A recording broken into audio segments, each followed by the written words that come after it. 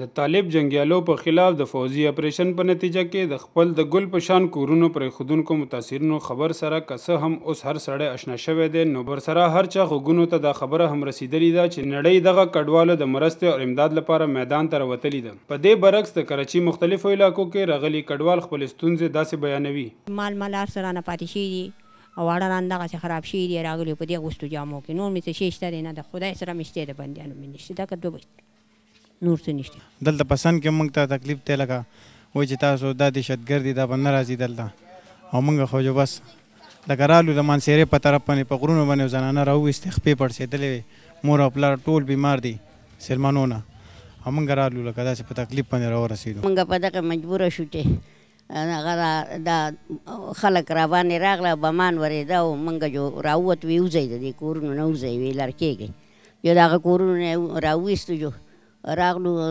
کراچۍ ته په څه ډبو باندې راورسېدو جو راغلل. مونږ راغلي یو د بدې ورځې دې کراچۍ ته بچي راوستي دي مونږ چې کوم دی در په در یو هلته وطن ته کلي ته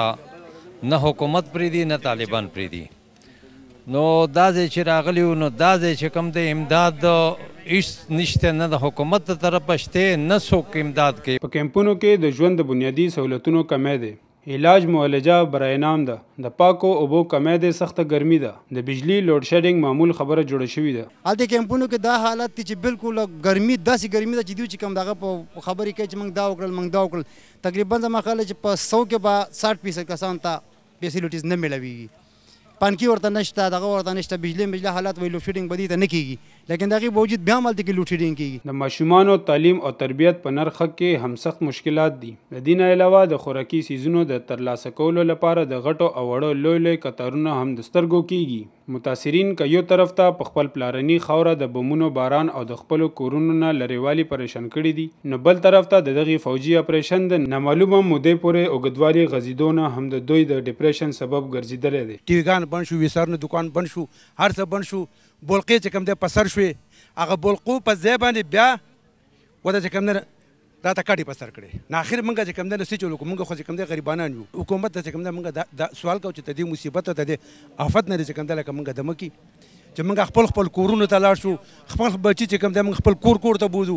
کورونه چې کوم دی زمونږ وران شو بچي لاړې زمونږ تباه شو کړې چې کوم دی لکه زمونږ لاړې خراب شو بس د حکومت نه دغه غوړ چې دا اپریشن دی ختم کړل شي او مطلب دا دی هر سړی د خپل خپل کورونو ته ځکه چې پښتون یو ډیر عزتدار قوم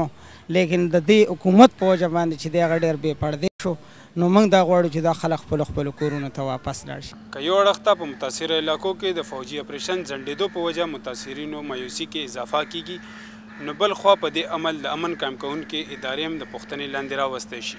انور تاج بنګش، خیبر نیوز، کراچۍ.